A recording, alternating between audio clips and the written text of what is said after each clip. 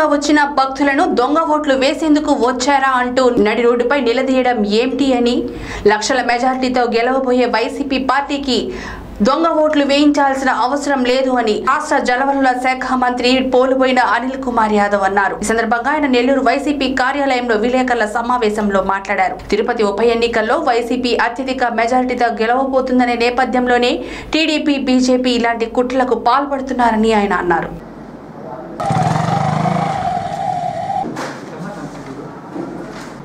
దాదాపు పదిహేడు లక్షల పదకొండు వేల పైచీలకు ఓట్లున్నాయి ఈరోజు తెలుగుదేశం పార్టీ బీజేపీ పార్టీ కానీ ఈరోజు ఎన్నికల్లో కనీసం డిపాజిట్లు కూడా కోల్పోతా ఉన్నాం.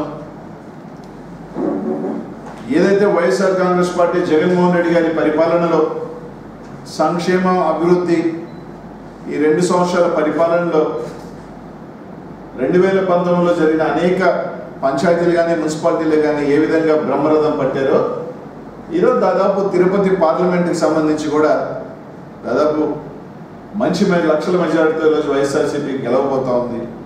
నిన్నటి దాకేమో తెలుగుదేశం పార్టీ బీజేపీలు మేమంటే మేము గెలుస్తాం తిరుపతిలో ఇలా జరిగింది తిరుపతిలో ఇలా జరిగింది రెఫరెండమ్స్ ఏదేదో మాట్లాడి ఈరోజు కనీసం ఓట్లు అడగలేని పరిస్థితుల్లో ఈరోజు ఒక కొత్త డ్రామాకి తెరదించారు దాదాపు పదహేడు లక్షల ఓటర్లు ఉన్నాయి ఈ పార్లమెంట్లో తిరుమలలో సంబంధించి.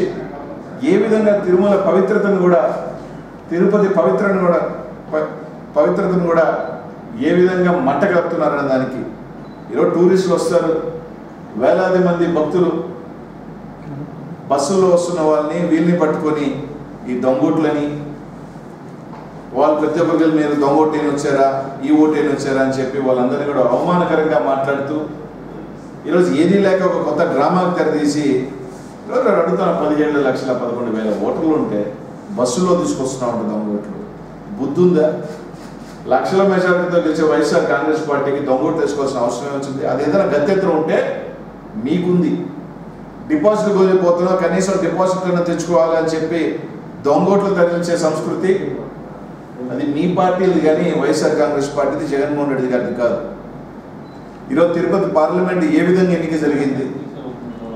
అధికార దుర్వినియోగం లేకుండా ఒక ట్రాన్స్పరెంట్గా డబ్బు మద్యం ఎక్కడా కూడా విచ్చలవిడితనం లేకుండా వైఎస్ఆర్ కాంగ్రెస్ పార్టీ జగన్మోహన్ రెడ్డి గారి నాయకత్వంలో ముఖ్యమంత్రి గారి నాయకత్వంలో ఒక పద్ధతి ప్రకారం ఎక్కడ కూడా ఓటర్లని మభ్యపెట్టకుండా కేవలం ఒక సంక్షేమ అభివృద్ధి జగన్మోహన్ రెడ్డి గారు ఏ విధంగా రెండు సంవత్సరాల పరిపాలన మీద ఈరోజు ఎన్నికకు పోవటం జరిగింది అదేవిధంగా మీ అందరం కూడా ఆయన నాయకత్వంలో ఎన్నికలు కూడా అదే విధంగా కూడా నిర్వహించడం జరిగింది.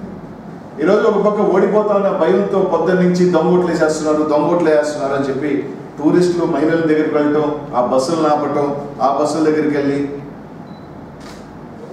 వాళ్ళేదో తిరుమల దర్శనానికి ఈరోజు అటు అడుగుతా ఉన్నాను.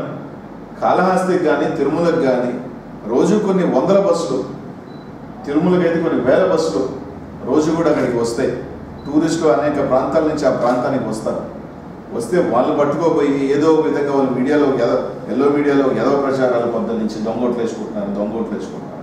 సిగ్గుండాలి చంద్రబాబు నాయుడు గారికి కానీ లేకపోతే ఆ బీజేపీ పార్టీ వాళ్ళకి కానీ కనీసం ఎన్నికలు కనీసం మీరు కంటెస్ట్ చేసుకోలేక ఓటమిని ఇంత డిపాజిట్లు ప్రజలు ఇట్లాంటి ఒక మ్యాండేట్ ఇస్తుంటే మీకు దరిద్రమైన మీకు డిపాజిట్లు కొలిపే మ్యాండేట్ మీకు ఇస్తున్నారు లక్షల మెజారిటీ మ్యాండేట్ వైఎస్ఆర్ కాంగ్రెస్ పార్టీ ఇస్తుంటే ఒప్పుకోండి. రెండు వేల పంతొమ్మిదిలో రిజల్ట్ కావచ్చు పంచాయతీ ఎన్నికలు కావచ్చు ఒక ఓటమని ఒప్పుకోలేనికుండా ప్రజలు ఇచ్చిన తీర్పుని ప్రజలు ఇవ్వబోతున్న తీర్పుని గౌరవించి మీరు ఏం తప్పులు చేశారు మీరు ఏం సార్ దాంట్లో ఉండాల్సింది పోయి మేము మంచి పరిపాలన చేసాము మాకే ఓట్లు వేయాలనుకున్నారు అంటే వైఎస్ఆర్ కాంగ్రెస్ పార్టీ దొంగ ఓట్లు వేసుకొని గెలిచిందని చెప్పి ఏదో ప్రచారం. ఓ పార్లమెంట్లో పదిహేడు లక్షల ఓట్లు ఉన్నాయి అసలు సాధ్యం అవుతుంది అసలు మాట్లాడేదానికి పద్నాలుగు సంవత్సరాలు ముఖ్యమంత్రిగా నలభై సంవత్సరాలు రాజకీయం చెప్పుకుంటున్నా నీకు. కనీసం బుద్ధి జ్ఞానం లేదా? కనీసం మినిమం సంస్కారం లేదా? కనీసం ఇది లేదా? తిరుమలకి ఎన్ని వేల బస్సులు వస్తాయి టూరిస్టులు వస్తారు? ఎంతమంది ఆడికి వచ్చి దైవ దర్శనానికి వస్తారు? వాళ్ళందరినీ ఆపి వాళ్ళందరినీ అవమానపరిచే విధంగా ఈరోజు వైఎస్ఆర్ కాంగ్రెస్ పార్టీ ఎంత ట్రాన్స్పరెంట్గా ఎన్నిక జరిగిందన్నది.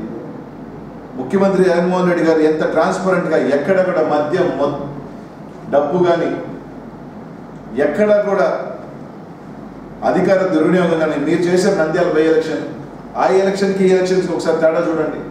మీరు చేసిన బై ఎలక్షన్స్కి ఈరోజు ముఖ్యమంత్రి హోదాలో జగన్మోహన్ రెడ్డి గారి నేతృత్వంలో వస్తున్న బై ఎలక్షన్ చూడండి. ఎక్కడైనా మేము అధికార దుర్వినియోగం కానీ డబ్బు కానీ ఇట్లాంటి ఎడైనా కానీ పంచ ఇది చేసాము ఒక ట్రాన్స్పరెంట్గా ప్రజా తీర్పు కోసం తను చేసిన సంక్షేమం తను చేసిన అభివృద్ధి మీద ఒక నమ్మకంతో ఈరోజు ప్రజా తీర్పుకి జగన్మోహన్ రెడ్డి గారు వెళ్ళారు.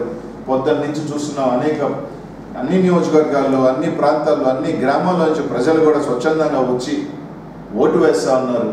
దాదాపు దాంట్లో డెబ్బై డెబ్బై ఐదు శాతం మంది వైఎస్ఆర్ కాంగ్రెస్ పార్టీకి వేస్తున్నారు. లక్షల మెజారిటీ వైఎస్ఆర్ కాంగ్రెస్ పార్టీకి వస్తుందని చెప్పి పొద్దున్నే అందరు కూడా ఇదైపోతే ఒక కొత్త డ్రామాకి తిరుమల తిరుపతిలో ఇప్పుడు తిరుమల తిరుమల తిరుపతి.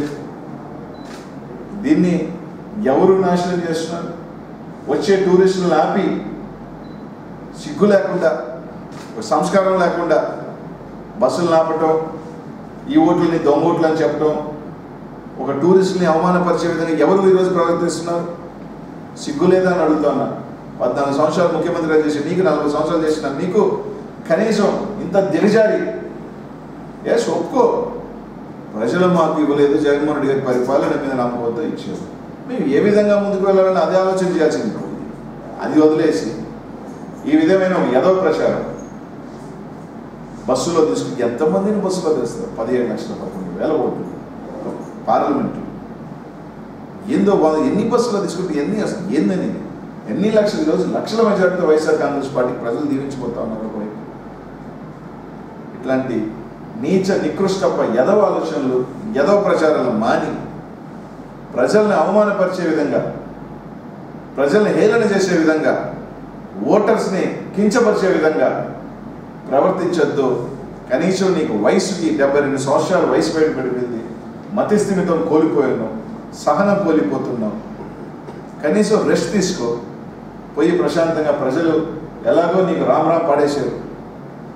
పోయి ప్రశాంతంగా ఇళ్ళతో తీసుకొని లాస్ట్లో ఈ డెబ్బై రెండు సంవత్సరాల వయసులో ఇట్లాంటి అబద్ధపు నీచపోయే చేష్టాలు మతిస్థిమితం కోల్పోయి ఏం మాట్లాడుతున్నావు నీకు తెలిసే కన్నా ప్రశాంతంగా ఇంటికి వెళ్ళి పడుకొని రెస్ట్ తీసుకో. ఎలాగో డెబ్బై రెండు రిటైర్మెంట్ స్టేజ్ కూడా చాలా దాటేసాం అట్లాంటి పోయి ఇట్లాంటి చేయొద్దని చెప్పి తెలియజేస్తున్నాం. కాబట్టి తెలుగుదేశం పార్టీకి బీజేపీ పార్టీ మీకు వచ్చి ఐదారు పర్సెంట్ ఓట్ షేర్ వస్తుంది ఇంకొక ఆయన పదహారు పదిహేడు వస్తుంది. ఇది మీ పరిస్థితి మీ పరిస్థితులు ఈ రాష్ట్రంలో.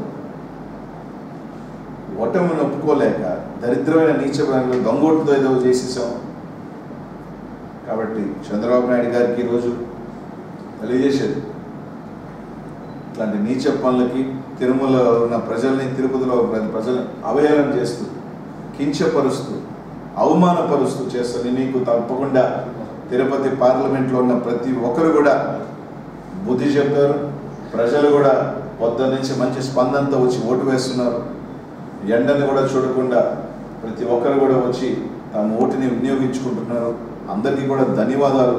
ఇంకా కూడా ప్రతి ఒక్కరు కూడా ఓటు వినియోగించుకొని ప్రతి ఒక్కరు కూడా వచ్చి సాయంకాలం ఏడు దాకా పోలింగ్ ఉంది. అందరూ కూడా వచ్చి మీ ఓటును వినియోగించుకోవాల్సిందిగా కోరుతా ఉన్నాం.